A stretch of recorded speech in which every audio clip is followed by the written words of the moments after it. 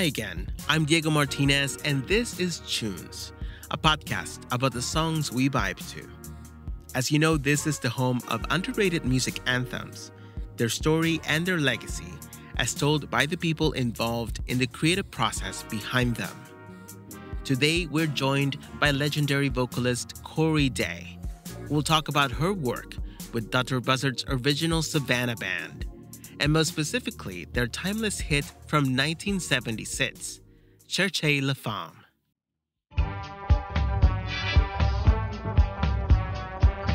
With the headsets and the orchestrations and the modern air singing in the backgrounds, I felt like I was listening to a song that I was already playing, if that makes sense. I kind of like had a moment where I was separated from my body. I said, wow, this is coming out of you. Oh my gosh, this is amazing. I just feel that these kids from the Bronx, everyone's going to relate to us and our music. And I think as long as it's played in the home and there's children around, it's going to keep going on and on and on.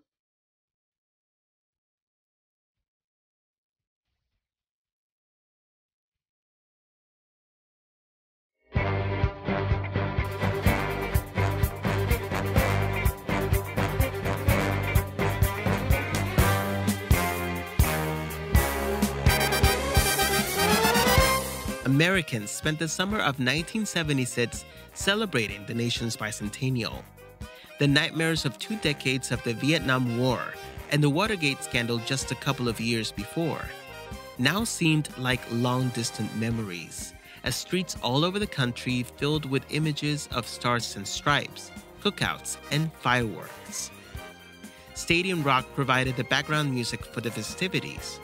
Many bands, including the Eagles, Fleetwood Mac, Lynyrd Skynyrd, and Kiss experienced great success during this period with a sound that only two decades before was thought of corrupting the country's youth. But another sound was creeping from under the surface, threatening to take over rock's crown and anything else in sight. 1976 was the year when disco was hot straight out of the black, Hispanic, and gay neighborhoods in Philly and New York. Disco exploded all over the world throughout this year, from London and Munich to Moscow and Amsterdam. It inspired the opening of multiple clubs ready to welcome dancers keen on trying out the latest moves like the hustle or the bump. While Donna Summer, Barry White, Gloria Gaynor, and the Salsoul Orchestra churned out the genre's early classics. You'd also find the oddball novelty records in the shelves. From the overtly sexy More, More, More by former porn queen Andrea True Connection to the downright silly Disco Duck by radio DJ Rick Dees.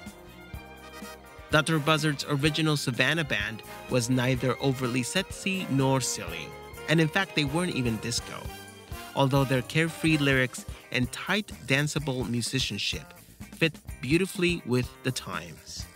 Founded by brothers August Darnell, aka Kid Creole, and Stony Browder Jr., Dr. Buzzards drew influences from the big band and swing eras, as well as the worlds of soul, Latin, jazz, and world music to come up with a fresh and lush fusion, ready for the funky feet. At its very core was the sensual, silky, and exuberant voice of singer Cory Daye, who was more than happy to stay in the background and let the man call the shots of the band. That was, of course, until they buckled under pressure, and Cory had no choice but to step out front, give life to August's lyrics of the tragic mulatto and Stony's dazzling arrangements, and in the process, create one of the most enchanting postcards of the early disco years. Cory herself deserves much credit for the lead and background stylings captured on Cherchez la Femme and the rest of their self titled debut album for RCA, a cult record for generations of listeners everywhere. The genesis of Dr. Buzzard's original Savannah Band can be traced in the streets of the South Bronx in New York where Cory, August, and Stony grew up.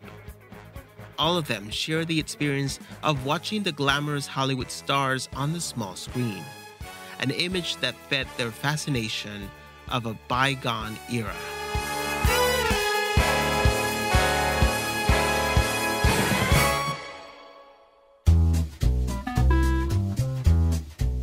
I was very young, I was um, exposed to musicals on Million Dollar Movie, and there was The Late Show and The Late Late Show, and we there were uh, the you know television was in its early stages, and they licensed movies from Hollywood. I was exposed to the gangster movies, you know, and everything was always um, the costuming was amazing.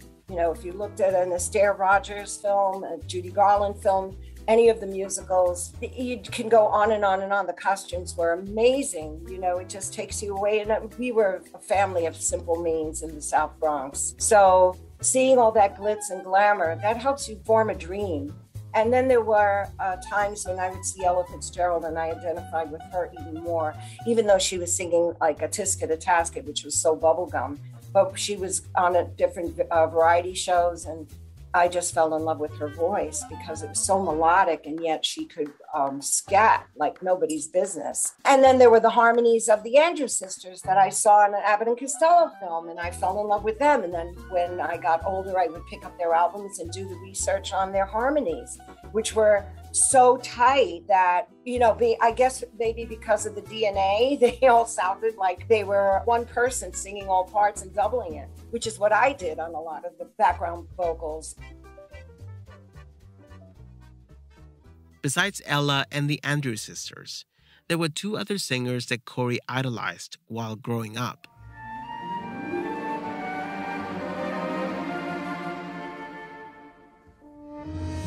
she could relate to the sound quality and painful life story of both Billie Holiday and Judy Garland.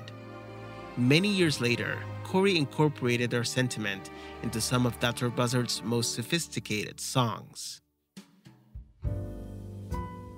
Billie, she sang from her soul, from deep within, uh, from all the pain that she was exposed to. Nobody has an easy life when they enter the entertainment business. You know, when you have that dream and you're struggling. I mean, we struggled for a couple of years, so thank God it wasn't too long. but between leaving home and having the RCA deal, there was a lot of struggle, a lot of pain, a lot of emotional upset. And I just related to all the pain that she went through and all the and hers was pretty heavy and yet she was able to have a smile on her face she was able to to sing she did sing some happy songs but ones that like when i i pulled from her energy on hard times because there's the admitting that these times are hard we're in a lot of pain but as long as we have each other love conquers all. So kiss me.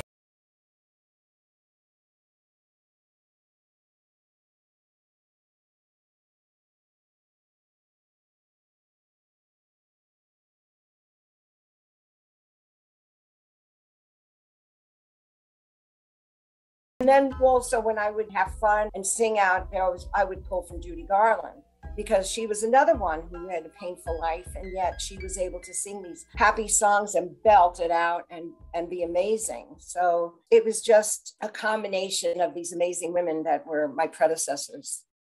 Cory's childhood fantasies became a reality at the start of 1970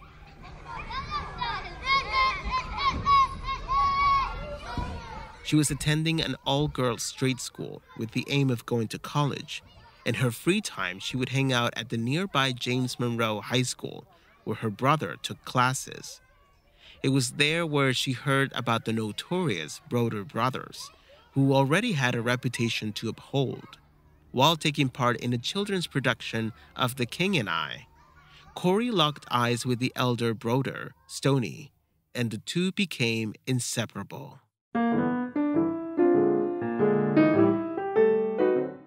When I met Stony, instead of hanging out with the kids in the backyard or you know, on the corner or going, we didn't have malls. So, you know, instead of hanging out with the other kids, we were in his room with his tap piano and just banging away and singing. And that's when the dream started again and it became a goal. So it was after I met him. Stony and August got their feet wet, musically speaking, as members of a band called The In Laws, later renamed Unum Mundo. Cory would later join The In Laws, performing backing vocals and occasional duets. Their love for the 30s and 40s went beyond the music. They were developing an image to match.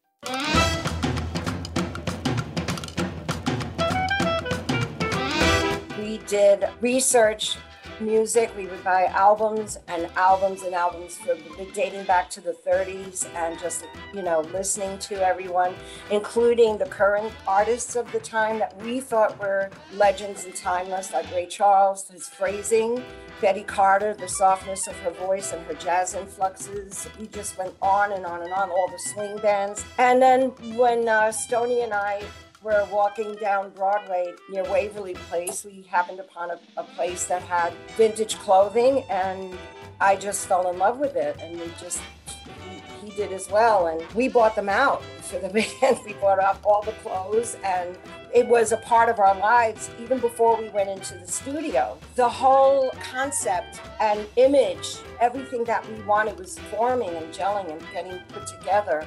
I was doing reference vocals at the time. I was not the lead singer of the band by no means uh, when they formed, and we were doing the college circuit, and we were doing, you know, the upstate Chitlin circuit, and I was never the lead singer. I was always the background singer. So I was just doing reference vocals with him so we could get the melody down. August would write the lyrics, and then we would perform them.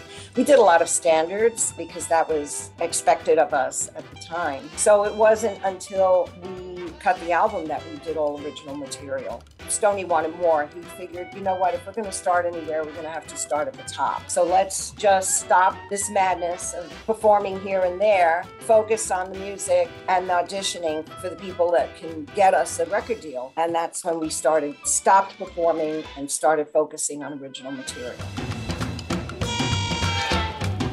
The ensemble was polishing its sound and at the same time changing its name. Out went the in laws, and in came a mouthful that, as a matter of fact, was a tribute to Stony Browder Jr.'s Southern roots. Well, his parents were from the South, and Dr. Buzzard was a fictitious character who used to sell elixirs. You, you know, they used to sell what was called snake oil, and uh, the elixirs was supposed to take care of any of your maladies, physical maladies. And so that was also in tribute to his father. Stony's father, he was the one who drove us to the gigs, and he was uh, he was also a guitar player. He taught Stony how to play guitar, and um, the piano was self-taught, but he taught his son how to play guitar and August the bass, and so it was mostly a tribute to his dad. Yeah, and their roots, their southern roots. Rebranded as Dr. Buzzard's original Savannah band they had enlisted lead vocalist Bill Dorsey, drummer Mickey Sevilla, and percussionist Andy Hernandez, aka Coati Mundi, when opportunity knocked. Cassandra Minsky, August Darnell's girlfriend and the band's interim manager, connected them with a 25 year old music executive named Tommy Mottola, who had experience in the biz as a solo recording artist.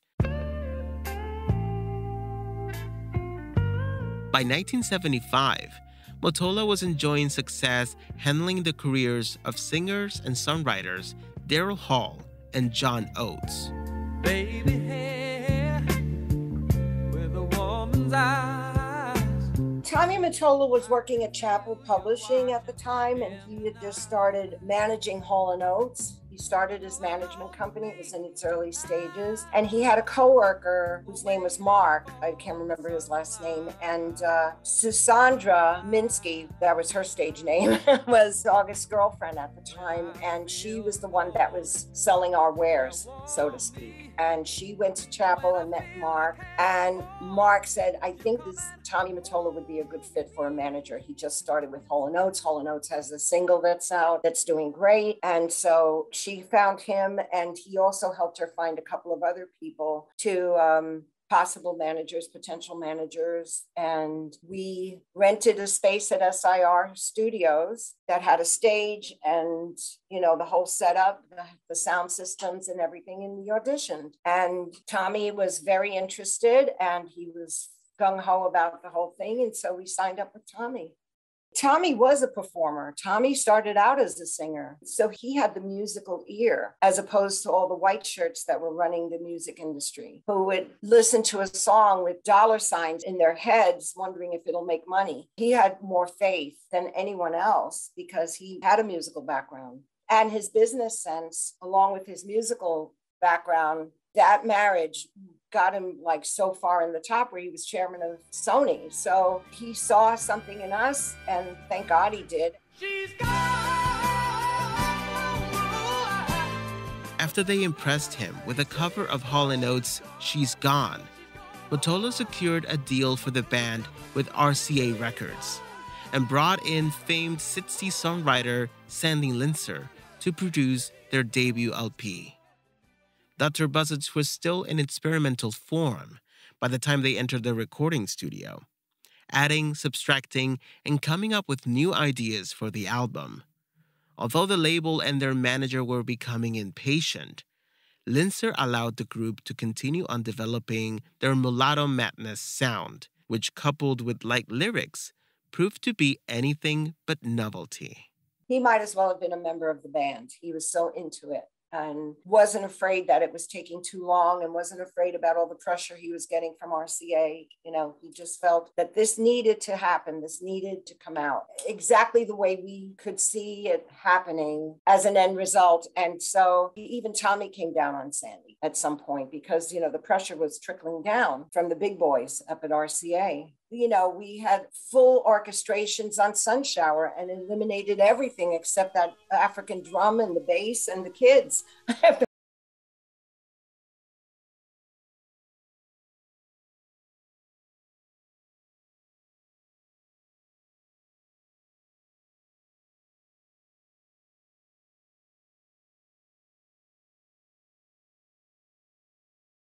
arms like what are you doing? Why are you doing this? And we just kept forging ahead and he took the uh, album and he took all the songs and made it sound like a record.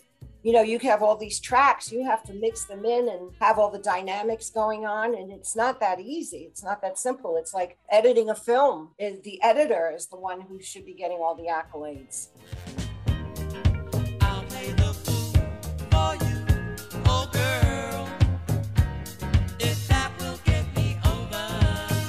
I would think that the cheeky lyrics to I'll Play the Fool would be considered novelty, but the beat, the orchestrations, the music had a hard drive to it. You know, wasn't sing songy, simple kind of stuff. So there was a great balance with the you know the weight of the of the, the musicality of the, the, orchestrations and then there was the lightness for lack of a better word uh, levity rather of the lyrics. And there was a great marriage there. And then the vocals waving up and down and all over it just enhanced it and just complemented everything. You know that was the fusion as well. There, there were so many elements of fusion regarding that band right down to our own backgrounds and cultures. Everybody was from different parts of not of the world our own world of course but, but we were all had different backgrounds and different cultures that we grew up with i don't think stony and august grew up with tito puente playing in the in the in the house when i was growing up and tito rodriguez and perez prado you know none of that but that was the element that made me relate to some of the latin qualities in the songs you pull from from what you know and when you're exposed to so many different sounds and cultures and then able to have that technique to to marry them all together to meld them together. So it's fun it's it's different it's heavy at the same time and um, it just worked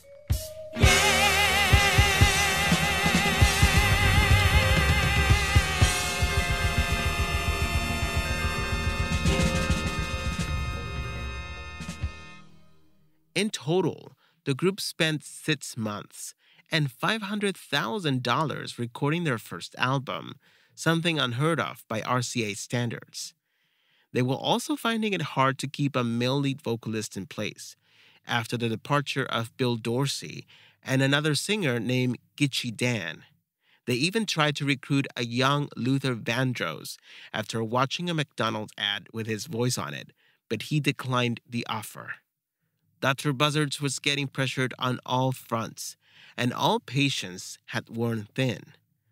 Four months into the recording, a reluctant Cory stepped out of the background to sing on a track written by August and named after a popular French phrase that literally translates to look for the woman.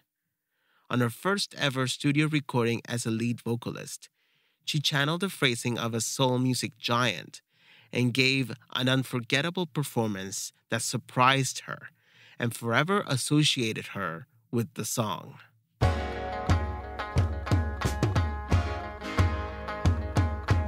it took a, a, little while for me to figure out what kind of approach do I want to um, use, who do I want to pull from, and of course it was Philippe Wynne of the Spinners.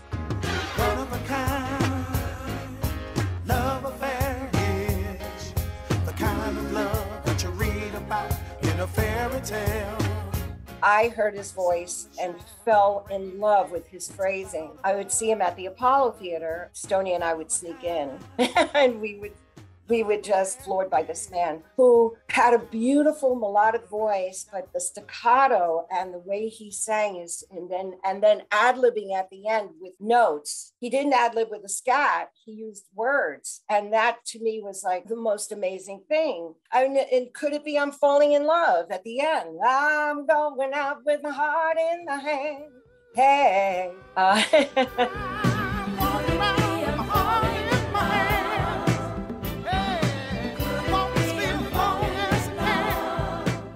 and I said, "I'm uh, guys, can I, can I try something? Can you can you just shut the lights and give me the headsets, put in all the orchestrations, and just let me try this?" And when after whispering the intro to whispering, and I started.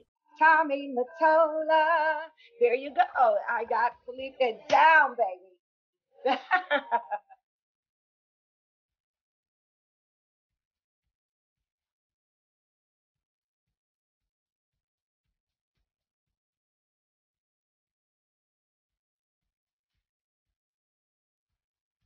That was August. August wrote the lyrics, but uh, I, there was somebody else's name, and I have no idea. I cannot even remember that and and whose idea it was to say Tommy Mottola. I think that was more of a tribute to him. I do know that it was more of a tribute to him and to immortalize his name. We didn't know that he was going to be the CEO or chairman of Sony, but. but we did want to, that was our way of thanking him for all that he had done for us.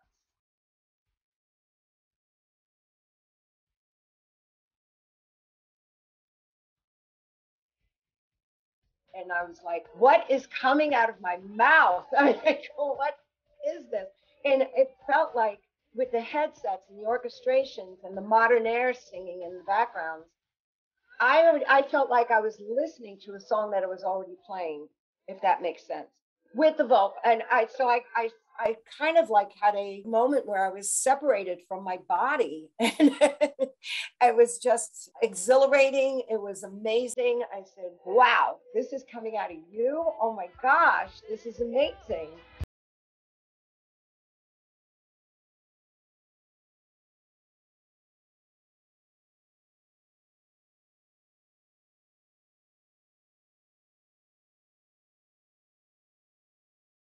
Song. It's cheeky, you know, look for the woman, and the woman is like really. Um, I think they're saying that chercher la femme is a derogatory expression now to women, and I just don't believe that. I think it's a woman coming into her own and taking over. And if you've got a problem with that, okay, it's all right. if a man has a problem with that, okay, say cherchez la femme. Yes, it's because of the woman. All right. So I just find it that my delivery is just as cheeky as the lyrics, you know, and so I don't have that shock that I had when I after getting after the album was released and I would play the whole album at home and and just still be in awe of the accomplishments that I made on each song because it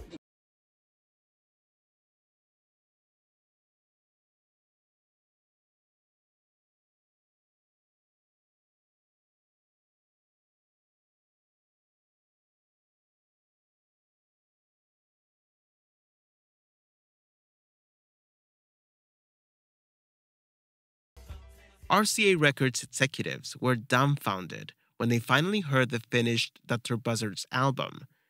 Without a way to pigeonhole the LP or the band, RCA was willing to shelve it entirely or release it and use it as a tax write off.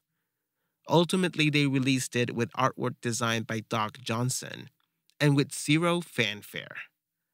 Cory credits the gay community on Fire Island for embracing the album before anybody else and spreading the love throughout underground clubs and radio stations. Tommy had the foresight to hire Ray Caviano, the Caviano brothers, who had a promotion company. And they said, let's take this product to Fire Island. You don't have to promote it but the band should be there. We walked there, got off the ferry, and was in a whole different world in the Pines. Every house we passed was playing a different cut of that album. And we were in awe. You know, you're on this little boardwalk and nothing but foliage around you and and, and, and the houses, the little houses spotting the place. And it was just uh, the most amazing experience. And that's when it started to bubble when Fire Island, when all the boys came back from Fire Island, it hit the radios, it hit the clubs, it hit everything. So it was just a massive outbreak. And we had a Grammy nomination by the end of the year people would bring that music home with them. It didn't just stay in the clubs. You know, they brought the album home with them. So their children, their grandchildren, it just went on and on for generations, which and decades. I consider that album to be a classic. And I'm not speaking about my vocals. I'm talking about the album itself, the quality of the orchestrations, which were all live and not techno. The melodies, the lyrics, I mean, those lyrics were nothing like what was popular in the disco era, so to speak. You know, it wasn't like ABC or anything like that. So it endured the test of time, I believe, because it had a lot of validity throughout the generations and identity. A lot of people identified with the songs.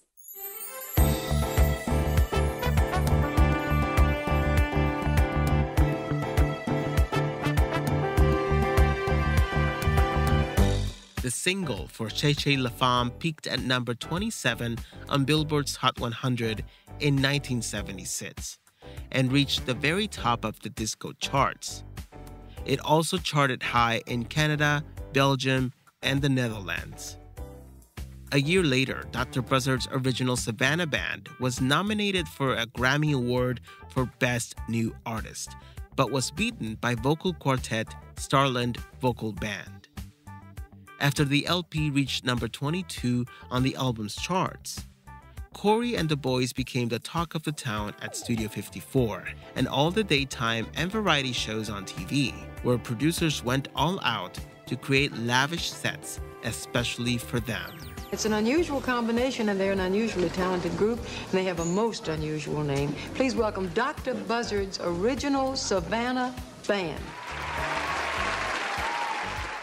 Dinah was up first, and her co-host was Sean Connery. Ah! He was my idol. I mean, this was 007 on the damn show with me, and I was, uh, and but they had a live audience, so the live audience, they, you know, I think they had to pick their jaws up off the floor after we finished our song because you know, I mean, they were older people. You know, this is a daytime show, and the kids are in school, and so they um, they were pretty much older people. And I'm riding up and down the side of a piano. They were like, "What is this?" Oh, but what struck me was they did their homework. I guess the people that produced the show, and we had the bandstands. The guys in the band weren't really playing, but our background singers were in the bellhop outfits and they went all out with uh, the imagery of what we were projecting. Dr. Buzzard's original Savannah Band. Tony Orlando was pretty much the same. He had a live buzzard when he introduced us. And Paul Anka did even more. He like he went all out and he gelled the lens and had the, the dancers and in palm trees and all of the shows that we were on just made it so that it would complement our image. RCA promoted Dr. Buzzards as a disco band and placed them in that department under executive Tony King. Though they had experienced success, their club presence was limited due to the size of the band. They released a second LP, Dr. Buzzard's original Savannah Band meets King Penett, which peaked at number 36 on the album's charts. Although several cuts made it to the dance charts, none of them crossed over to the pop market. With time, the band's relationship with RCA became more and more complicated. We were labeled as disco because Cher was danceable and in the clubs, and I'm grateful for that. But after listening to that album, you would know we are not a disco band. It's danceable, but it's not disco. But that was fine. That was fine because everybody was getting pigeonholed at the time anyway. There was no such thing as fusion or pop, or it was just uh, it was an R&B or rock or disco, or and that was it. And so we had a great relationship with Tony King. He tried to push us. We, we the only thing RCA did not back us up with was live performances because our band was very, very large and they wouldn't find venues for us that could afford us because we had horns and we were going to be 11 to 17 piece band. So that wasn't happening. And clubs never had live, but anytime clubs had a live performer, they sang to tracks. And we, we kind of refused to do that. We did not want to, we were a band.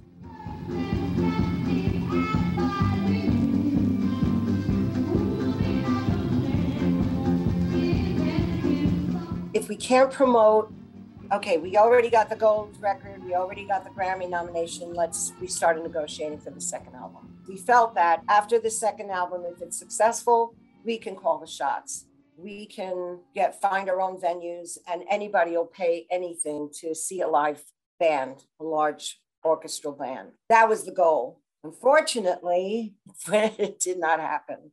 Back then, if you were labeled as disco, your first song should sound like the second. And our second song our second album was nothing like the first. We thought that we would have a, a, our fan base was ready for something different. We didn't take into consideration that our fan base were some a lot of people that didn't necessarily buy the album but they loved dancing to the song in the clubs. And so we took it a step further maybe too soon for us it was not too soon because the third album was even way out out there more than the second Tommy Mottola broke all management ties with Dr. Buzzards before the release of their 1979 LP, Dr. Buzzard's original Savannah Band Goes to Washington.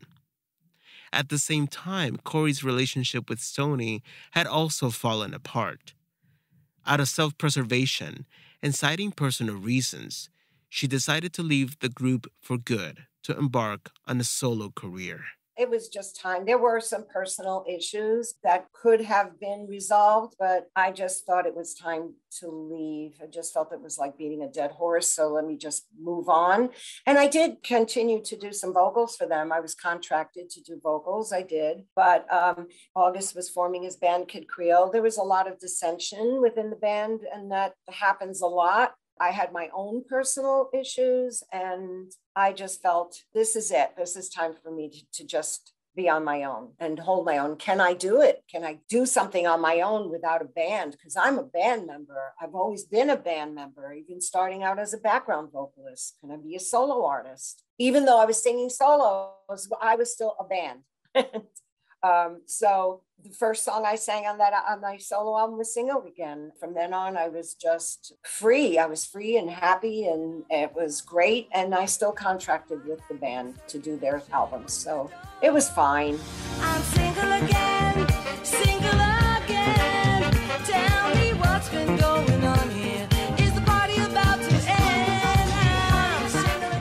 Single Again was included on Cory's debut solo album from 1979, Cory and Me, produced by Sandy Linzer. It also featured songs like Pow Wow and the Dutch top 20 hit Wiggle and Giggle All Night. August Darnell and Andy Hernandez went out to form the successful Kid Creole and the Coconuts, while remaining members of Dr. Buzzards, including Cory on vocals, carried on and recorded a fourth and final album in 1984, Calling All Beatniks.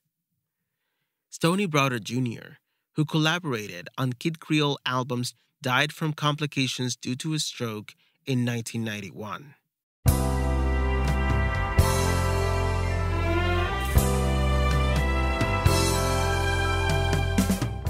Cory Daye also worked on Kid Creole projects, including a tour with them in the late 80s. She's planning to return to the stage with a live band and perform to her adoring fans, and is actually working on new music recordings, which she hopes to release later in 2022. A Legends of Vinyl Hall of Famer and a regular on the disco balls for the past seven years. Cory is proud of the work she did with Dr. Buzzard's original Savannah Band, which has been sampled by A Tribe Called Quest, Busta Rhymes, MIA, and Ghostface Killah, among other hip hop and rap artists. She trusts that the mulatto sound of the kids from the South Bronx will continue to pass from generation to generation and endure the test of time. I just feel that these kids from the Bronx, everyone's going to relate to us and our music. And I think as long as it's played in the home and there's children around, it's going to keep going on and on and on. It's a domino effect. And it's not through me. It's maybe because of our music, but it's because of the people who are appreciating it. As long as that continues, it's going to go on for decades ahead. History repeats itself. That's why disco is back, even though it's not called that. History always repeats itself. Fashion, everything. How far can you go with with uh, eight letters? You know, and so many beats. You know, it's like you have a scale, and that's it. And then you have so many different beats and that's it and so you can make all these different it's like the lottery you have just a certain amount of numbers how many combinations can you come up with our combination was a winner, and it's going to stay a winner for the rest of my life and many more to come.